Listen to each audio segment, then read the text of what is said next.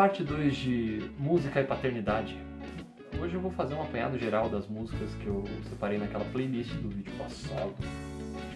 Eu vou falar um pouquinho sobre elas, né, sobre a mensagem que a gente queria passar para nossa filhota, aniversariante do mês. Eu tô com a playlist aberta. Geração Pandemia. A geração pandemia foi foi uma coisa que foi um termo, não que a gente criou, né, mas foi um apelido que a gente deu para geração para essa geração dela, né, que nasceu em 2019 aí no meio da pandemia.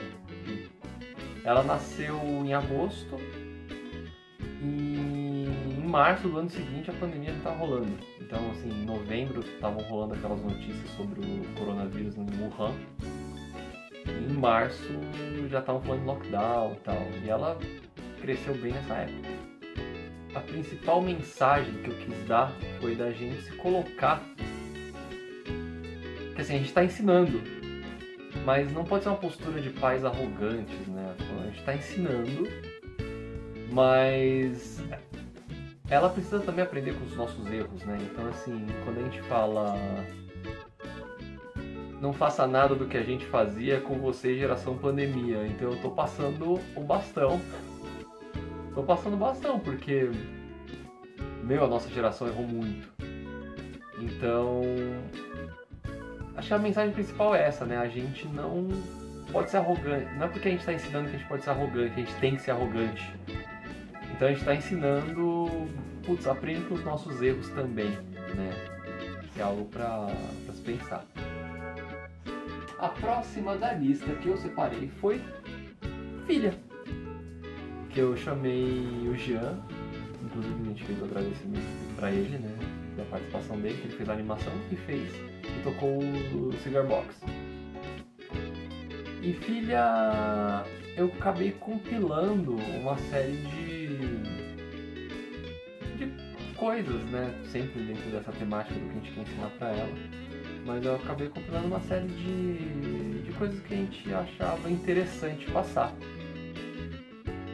Então, não perca fé na humanidade, mas não caia em distração, né? Tipo, a gente tem que acreditar nas pessoas, mas não pode vacilar. É... Tem uma frase que eu gosto muito nela, né? Que é do. que eu atribuí ao sensei de Aikido que dá aula pra gente, que fala leve a vida pela mão, né? Tipo, a gente tem que levar a vida, o corpo, a gente tem que levar o que a gente faz pela mão, conduzir pela mão, e não puxar pela orelha. Né? Então assim, tem que seguir um fluxo natural das coisas. Maré da insanidade. Maré da insanidade é uma coisa que eu ficava pensando é sobre ansiedade, né? Principalmente a gente vive, parece que vive atrasado. Então a gente tem prazo para trabalho, tem prazo para se encontrar com alguém, tem prazo para tudo. E parece que a gente está sempre atrasado, porque tem sempre alguma coisa para fazer e tem sempre alguma coisa chamando a gente, tem sempre alguma coisa obrigando a gente a fazer no horário certo, no momento certo, e o mundo entrando em guerra, pessoas estão brigando, as pessoas estão tretando, tem o trânsito, o cara tá buzinando para você, e se você se deixa se levar por essa maré de, essa maré de insanidade, você é engolido, né? Você é arrastado. Então a gente precisa de uma âncora, a gente precisa de um de um ponto fixo, de um ponto porto seguro para não ser levado por essa maré.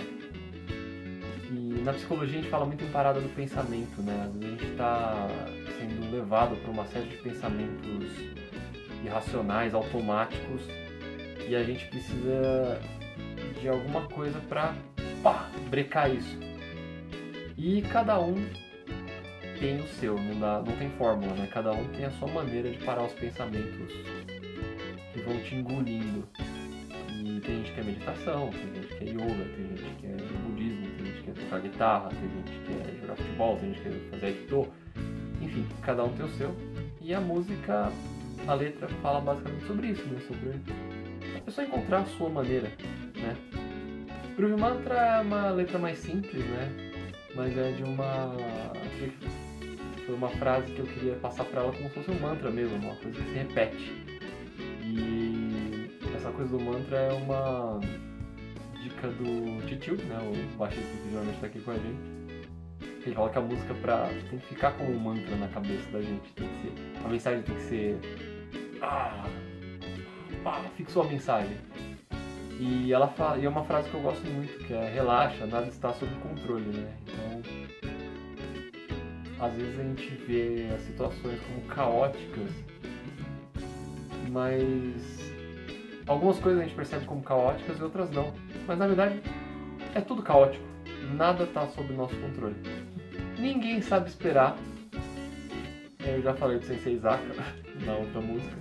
E foi outra coisa que me veio, a ideia veio de uma coisa que ele falou, né? Ele indicou o livro Siddhartha, né? E eu até cito na letra. Tem uma cena lá que ele fala, né? A menina vai fazendo entrevista de emprego e a menina fala pra ele. E o que você sabe fazer? A pessoa fala pra ele, não é menina, mas a pessoa fala pra ele, o que você sabe fazer? Ele fala, ah, eu sei jejuar, meditar e esperar. E me chamou muito atenção, né? Porque a gente não sabe mais esperar. A gente tá sempre com o telefone na mão.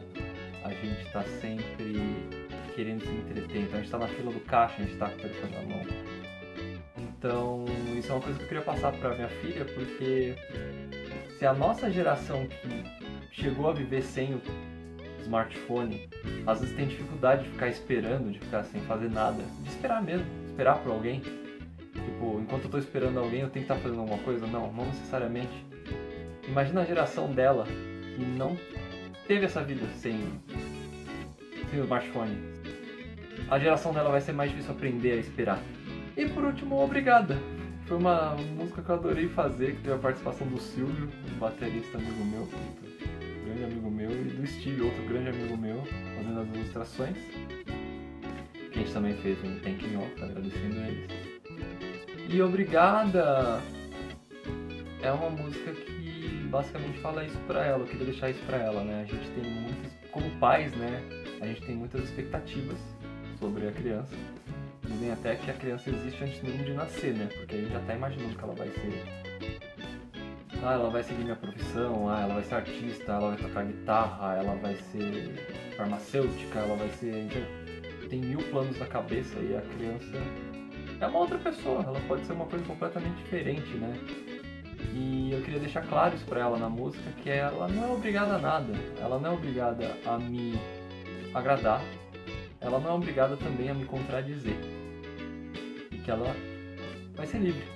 Né? Ela é uma pessoa livre. A gente tenta é, mostrar para ela né, o quanto ela. as coisas que a gente percebeu que ela é boa, até porque a gente tem mais experiência. E a gente pede isso também, né? Pra ela confiar na nossa experiência, mas também ela não é obrigada. Ela, ela não é obrigada a agradar a gente.